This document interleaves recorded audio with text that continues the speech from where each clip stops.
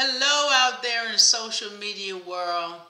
As we all know, we are in the coronavirus season, and so we have to follow the guidelines, which are social distancing, got to be six feet apart from one another.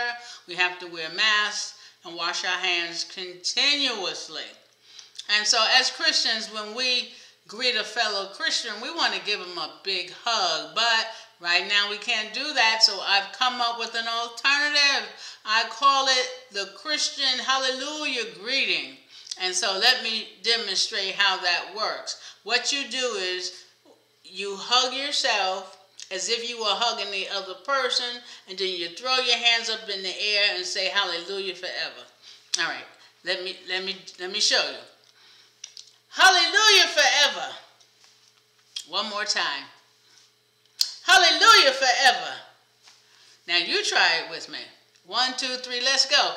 Hallelujah forever. One day the COVID 19 season will be over, and then we can go back to giving people a big old bear hug when we see them. But in the meantime.